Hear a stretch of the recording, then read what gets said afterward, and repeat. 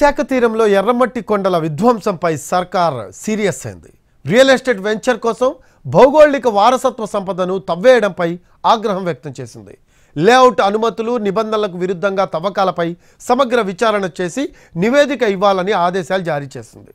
అయితే ప్రభుత్వ పెద్దల సహకారం స్థానిక నేతల మద్దతుతోనే ఎర్రమట్టి కొండలు లూటీ అవుతున్నాయని వైసీపీ ఆరోపించింది. విశాఖ తీరంలో ఎర్రమట్టి కొండల తవ్వకాలు దుమారం రేపాయి.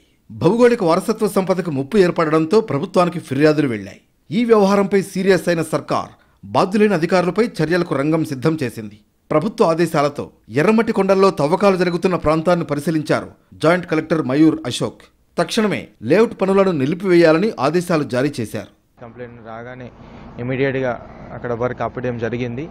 తర్వాత future GVMC city planner already అక్కడ షార్ట్ ఫాల్ ఇచ్చారు ఈ మంత్లో. కాబట్టి ఇక్కడ ఏమీ వర్క్ చేయకూడదు వాళ్ళకి స్ట్రింజెంట్గా చెప్పడం కూడా జరిగింది. జరిగితే మాత్రమే స్ట్రింజెంట్ యాక్షన్ ఉంటాయి కూడా వాళ్ళకి వార్నింగ్ ఇవ్వడం జరిగింది.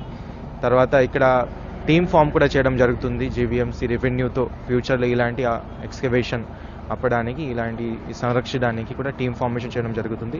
తర్వాత ఏదైతే ల్యాబ్సెస్ ఉన్నాయి ఆఫీసర్స్ మీద తప్పకుండా యాక్షన్ కూడా ఇవ్వడం తీసుకోవడం జరుగుతుంది. భీమిని మండలం నేరెళ్ళ వలస పంచాయతీ సర్వే నెంబర్ నూట పద్దెనిమిదిలోని సుమారు వెయ్యి అరవై ఏడు ఎకరాల్లో ఎర్రమట్టి దిబ్బలు ఉండేవి.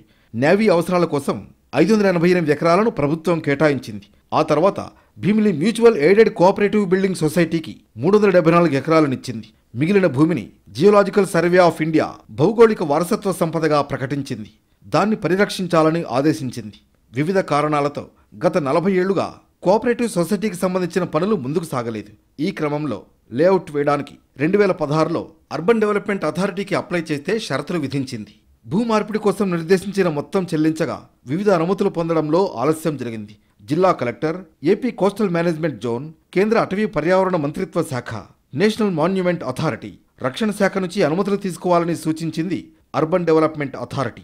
ఈ నిబంధనలు పూర్తి చేయకపోవడంతో లేఅవుట్ అప్లికేషన్ రిజెక్ట్ అయింది. ఖచ్చితంగా ఆ దగ్గర ఉండే ప్రదేశాల్లో కూడా minimum two kilometres three kilometres area కూడా బఫర్ జోన్స్ కింద క్రియేట్ చేయాలి కానీ నియర్ బై అనేది వేరేగా క్రియేట్ చేయడానికి మాత్రం అవకాశం లేదని నేను అది ఇలాంటి వచ్చడం వల్ల ఏమవుతుంది? ఆ స్ట్రక్చర్ అనేది ఆ టొపోగ్రఫీ ఫ్యూచర్స్ అనేవి డిస్ట్రక్ట్ అయిపోతాయి. Over a period of time స్లోగా ఎంక్రోచ్మెంట్ జరుగుతూనే ఉంటుంది ఒకసారిగా. సో అలాంటి ఫ్యూచర్ ఒక ten years twenty years thirty years తర్వాత ఆ ఫ్యూచర్ అయిపోయేదంతా ఆల్మోస్ట్ ఆల్ ప్లేన్ టోపోగ్రఫీ చూపించి నెక్స్ట్ జనరేషన్కి అలాంటిది ఉన్నదా లేదా కూడా తెలియలేని పరిస్థితి అవుతుందన్నమాట. అంచేత జియలాజికల్గా అది చాలా సిగ్నిఫికెన్స్ గ్రేటర్ విశాఖ పరిధిలోకి భీమిలి చేరడంతో భూములకు అనుమతి ఇచ్చే అధికారం జీవీఎంసీ పరిధిలోకి వచ్చింది. సరిగ్గా ఇక్కడ నుంచి భీమిలి కోఆపరేటివ్ మ్యూచువల్ సొసైటీకి సంబంధించిన ఫైళ్ళు పరుగులు పెట్టినట్లు తెలుస్తోంది. టౌన్ ప్లానింగ్ విభాగం కొన్ని షార్ట్ ఫాల్స్తో తాత్కాలిక అనుమతులు మంజూరు చేయగా పెద్ద ఎత్తున తవ్వకాలు జరుగుతుండటంతో ఈ వ్యవహారం వెలుగులోకి వచ్చింది. అయితే ఎర్రమట్టి కొండల్ని తవ్వేస్తున్నామన్న ప్రచారంలో నిజం లేదంటున్నారు సొసైటీ నిర్వాహకులు. Government of Andhra Pradesh GO number ninety nine issue చేశారు. ఇది ఈ మేరకే ఎర్రమట్టి దెబ్బలు హెరిటేజ్ సైట్ అని. సో ఇప్పుడు అవాస్తవంగా ఎర్రమట్టి దెబ్బలు పాడు చేస్తున్నారు దున్నేస్తున్నారు అనేది కరెక్ట్ కాదు. We condemn it and also request you to make an enquiry whether we ఎర్రమట్టి కొండల్లో తవ్వకాల వ్యవహారంపై రాజకీయ పార్టీలు తీవ్రంగా స్పందించాయి. ప్రభుత్వ పెద్దల సహకారం స్థానిక నేతల మద్దతుతోనే పర్యావరణ విధ్వంసం జరుగుతోందని వైఎస్ఆర్ కాంగ్రెస్ పార్టీ ఆరోపించింది.